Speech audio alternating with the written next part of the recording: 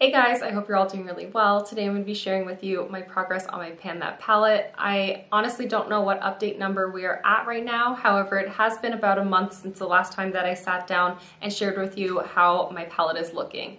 I am working on the Kat Von D Shade and Light Eye palette if you're not familiar with this Pan That palette series. I have been working on this palette actually since last October and I chose it because it is all matte neutrals. I just felt like it could go with any and every look that I wanted to use or to create rather, any shadows that I wanted to use for my collection. And so far, it definitely has been quite a journey. I am enjoying it. I'm still getting use out of the palette and I'm excited to share with you guys what it looks like in comparison to last month. So I'm gonna share with you on the screen right now what the palette was looking like last time I sat down and shared this palette with you so that we can compare. And here is what my palette is looking like today in comparison. So as you can see, I did end up re-hitting pan on the shade Ludwin, this like peachy matte shade right here.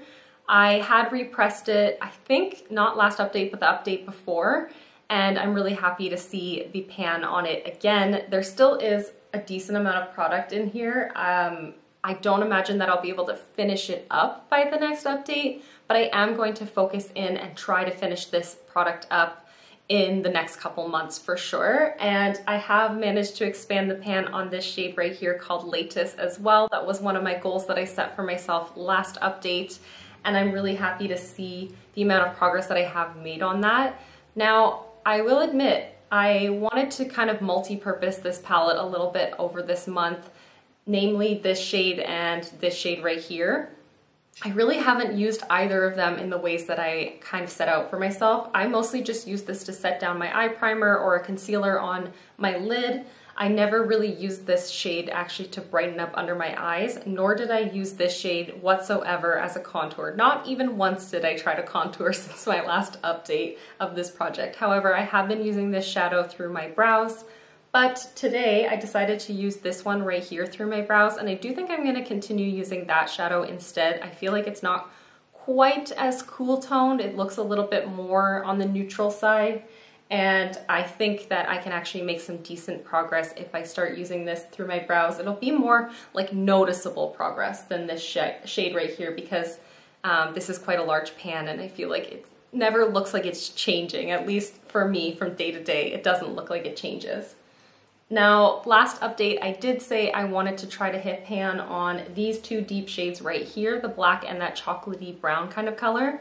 Of course, that is a long-term goal for me, so that is something that I am focusing on. However, I just am not really feeling like wearing dark, heavy looks. I never really feel like I'm interested in doing that because I have small hooded eyes and I feel like those kinds of looks definitely close off my eyes, make my eyes look even more small smaller, but I am determined. I definitely am going to keep focusing on them.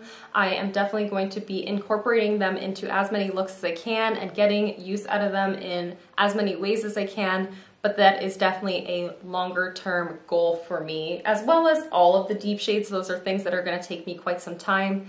Now we are halfway through this year. I'm kind of getting nervous that I may not be able to make the progress on this palette that I was originally anticipating, but I'm happy to see as much progress as I have made and I know that I'll be able to continue to make decent progress until the end of this year. Right before I sat down to film, I did weigh this palette and it's currently weighing in at 214.59 grams, which means that I have used up 0.81 grams of product since my last update.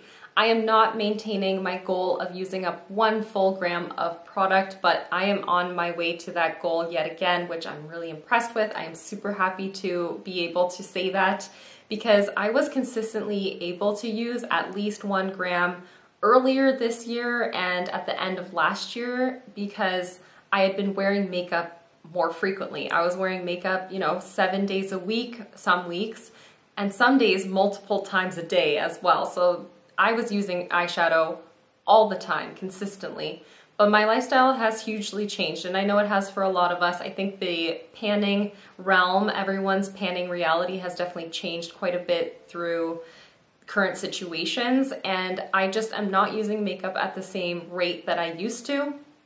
That's something that I've definitely come to realize, and I'm not going to be upset with myself about not being able to reach goals because I just don't feel inclined to wear makeup when I spend a lot of my time at home by myself and I just kind of need to let myself breathe and just allow my skin to breathe. It's been so hot, I haven't wanted to put makeup on my face. Even if I was leaving the house, it would be a little bit of a chore. But in no way am I disappointed with myself for seeing that number. I'm really proud of that number and I'm really happy when I look into this palette, seeing how much product I have used, especially considering how like topsy-turvy this year has been. I'm not gonna set myself any additional goals for this month. I just wanna continue to use this shade right here called Lattice. I really do wanna try to use it as more of an under eye brightening sort of shade in conjunction with using it as a primer setting shade just so that I can get really great progress on it throughout the rest of the summer. Maybe I could even use it up this summer and that way I can move on to finishing this shade up as my primer setting shade come the fall and winter. And then I really just want to focus in on these two deeper shades and it will take some time, but I am really excited, really looking forward to making additional progress on this palette. But that is all I have to share with you guys today. If you guys are working on a Pan That palette, please let me know how your progress has been over the last few months. I am so interested and curious to see how everybody is doing on their Pan That palette and just general panning projects.